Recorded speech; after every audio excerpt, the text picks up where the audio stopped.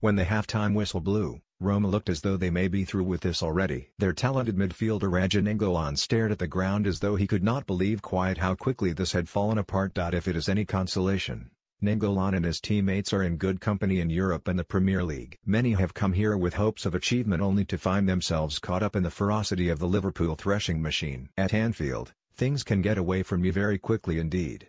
The only sporting analogy that seems anywhere near appropriate is that it must be like walking onto a flurry of heavyweight punches. One moment you are in the fight and the next minute the lights have gone out. Here at Anfield, Roma's lights and indeed the ambitions of their coach Eusebio Di Francesco seem to be shut down for good until their two late goals gave them a fingertips grip back on the tie. Di Francesco was brave here in that, ultimately, may prove to be his downfall. He clearly wanted to face this challenge like a man and credit to him for that. He tried to go to toe-to-toe with Liverpool and, years from now, will no doubt put it down to part of the education. In the short term, though, he will know that it didn't really work. 20 minutes in and it did seem his plan was working. As his goalkeeper Alisson Becker clutched the ball to his chest after collecting a cross, Di Francesco motioned for his players to move up the field. He didn't want them sitting in their own half as so many teams do here, he wanted them in opposition territory, squeezing Liverpool in areas where they couldn't hurt them. Had an 18th minute shot from Alexander Kolarov gone and rather than strike the bar, Liverpool would have faced a real examination. But the problem with being brave at Anfield is that it takes you to the edges of calamity. It offers your players an opportunity to achieve something unlikely but it also exposes them to great risk. By half-time, Roma knew all about that.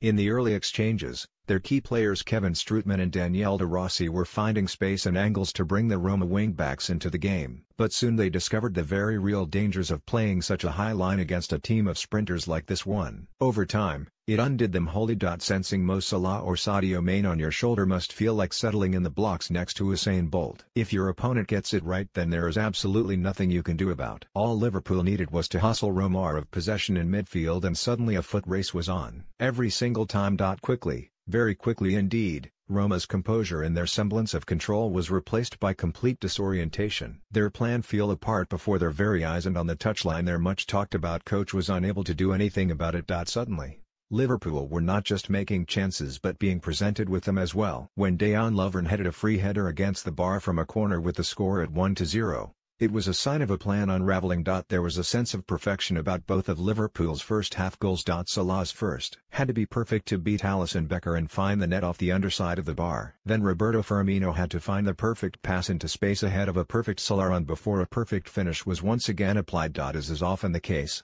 the correct boxed were ticked and a tied European head game suddenly sat squarely in the home team's lap after 45 minutes. Good coaches react when things go wrong. That takes courage, too. And again Di Francesco was not found wanting as Patrick Schick was sent on to form a partnership up front with Edin Dzeko. The message from the Roma bench was clear. If this night was to not to leave them with too much to do in Italy next week, they simply had to leave here with an away goal. Once again there was risk attached to the move but this time there had to be.